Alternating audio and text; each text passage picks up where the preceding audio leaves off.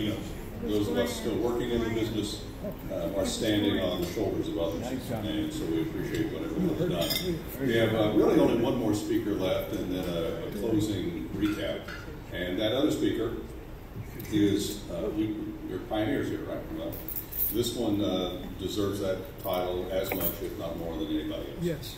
Uh, because uh, she's a double pioneer. In a Yeah, way. she is. So it's one thing to be in the formative stages of any industry or served in it for a long period of time, but it's another thing to be in a male-dominated industry in the early years and be a woman that cracked into that and succeeded in it despite uh, whatever prejudices existed at the time, and uh, setting a role model for example for others. And that's just the beginning of the Dory Lynn story. Dory, will you uh, please come up and just say a few words?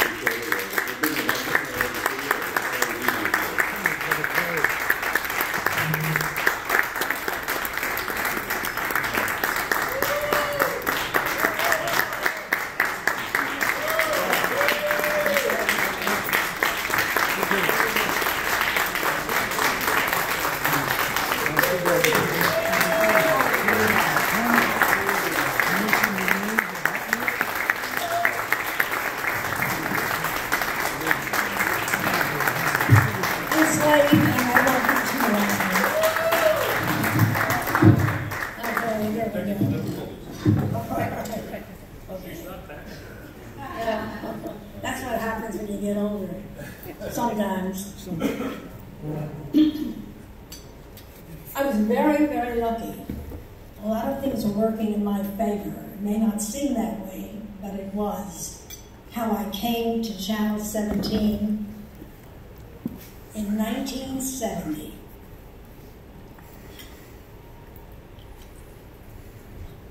I was working with Alan Scott as a co-host at the stock market show Channel 29. Bill Fox owned it. And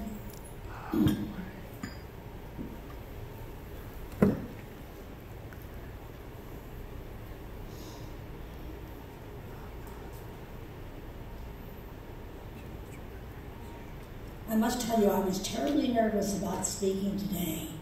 I don't know, I have done hundreds and hundreds of presentations in my years, and for some reason, I was uh, terribly, terribly upset and nervous. It was just revisiting the past, listening to all these stories, and it just threw me, and it has seemed to be throwing me. All right, in any case, we had three-hour show for two and a half years, stock market show, very interesting. And then we came in one morning to go to work, no cameras, no cameraman, nobody there. It was empty a studio. It was empty. What happened? Bill Fox sold the station to Taft Broadcasting, who was going to come in and put a new show in, dialing for dollars. Nobody told us, nobody said a word. That showbiz. Kindly, thoughtful. There you go. It ain't, if there are any kids in the room, it's not easy. Don't get into business. In any case, what were we going to do? I made an appointment at Channel 17 and everywhere else. No luck. But I was waiting there in the waiting room, and the secretary said, You know, they're looking for somebody who's interested in community. Events, community something. She was very vague. Well, she didn't seem to know, but that was it. That was it. That's all I needed. I had been, before I came to Taft and Bill Fox, I had been a stay at home wife and mother. Then my husband died. And then a few years later, I needed, she was growing up, and I needed an, another life in any case, and that's how it happened. Somebody suggested a new station was opening up. But in any case, times were changing. This was 1970, and the Federal Communications Commission was changing a lot of things.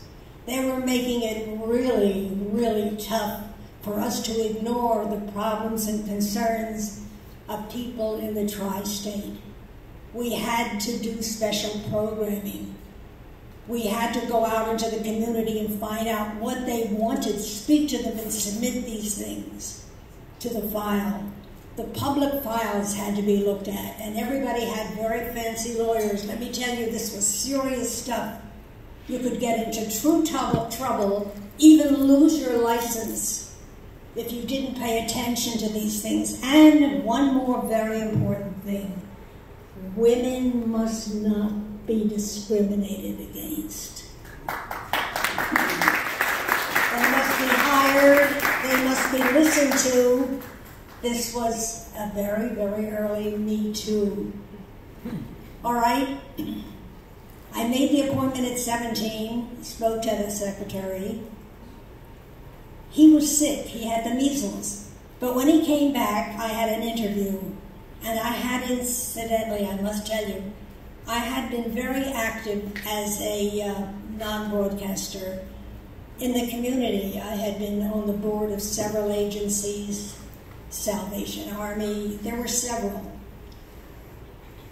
How could you not hire me how could you possibly not hire a person who had on air experience and who had been active in the community? Of course, there it was. Well, I started work. I didn't know a thing. What do you do? What do you do? How do you plan a programming? I had not done that. I had been, I had, we had discussed things on air, Alan and I, but this was all new to me. They didn't know what to do. This was new to them. And all of a sudden, the second day, and this is the truth, the God honest truth. The second day, who walks in? This handsome young man, Joe Chiappa. I'll never forget him. He was on the staff of the Greater Philadelphia something for the prevention of venereal disease. true, true story. That was it. That was it. That's what we're going to do. We're going to pay attention to venereal disease, which it was syphilis actually. Now don't forget, in those days, nobody had syphilis apparently. Nobody talked about it. Nobody ever knew anybody who had syphilis. Well, he also led me to Wyeth Pharmaceuticals.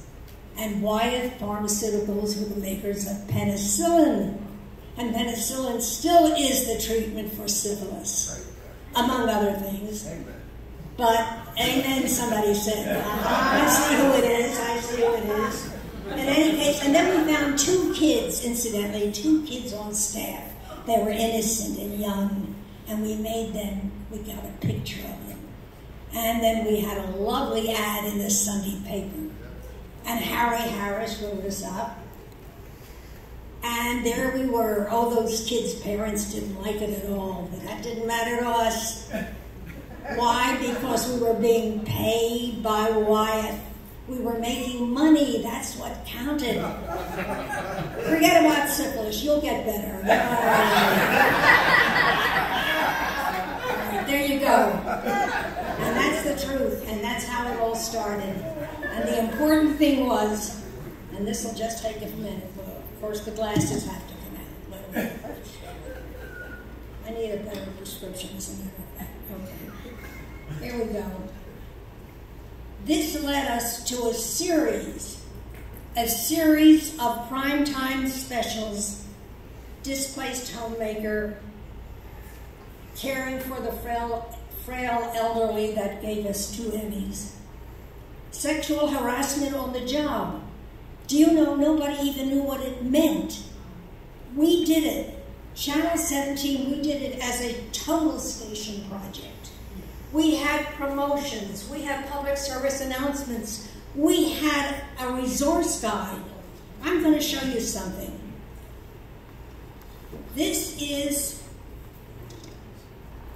see, it's a complete guide it's got plenty in it. This happens to be how to get on TV, a guide for nonprofits, for programming, for PSAs. And every project we had had a guide so you knew where to go for resources in the community. And the terrible thing is, I never saved them. Can you believe it? This is the only one I saved. How to get on TV, a guide for nonprofits. I must tell you, they didn't give much of a darn at the station. Everything was okay. Oh, they threw in baseball for the better half. Why? Making a buck. I didn't know baseball. I knew nothing about baseball. Of course, that was about the personalities, actually. But the fact of the matter is, I was so in love with the process of doing this, of creating, of following through, and then I had a wonderful assistant, Judy Raplansky. She's not here today, and she was invaluable. But in any case, the station let me alone. Oh, yeah, I did a stupid thing. And if there were kids in the audience, I'd say, remember, put it in the back of your head. Never take it for granted that you're not worth something. Doing all the projects and everything, I said I wasn't going to do this when I started. Nobody ever thought, I was too stupid to ask for more money. I didn't need the money, as a matter of fact. That wasn't the point. The point is, you should get paid when you're doing extra stuff that's bringing in revenue. We sold it to Cadillac Dog Food. Yeah, we did. And, uh, but I had the best time of my life. Well, I think that that's about it, except to say that this was, it has been a tremendous love affair. There is not a moment, I think, in 30 years at that station and one year later, I was a, they asked me to be a consultant in the affairs. There wasn't a single moment that I didn't walk in the hall in my office doing a program where I wasn't grateful, grateful for the excitement, the pleasure, the privilege of being an influence in some fashion to somebody who needed some help, some advice, in the glorious job of being a public affairs director. Thank you so much.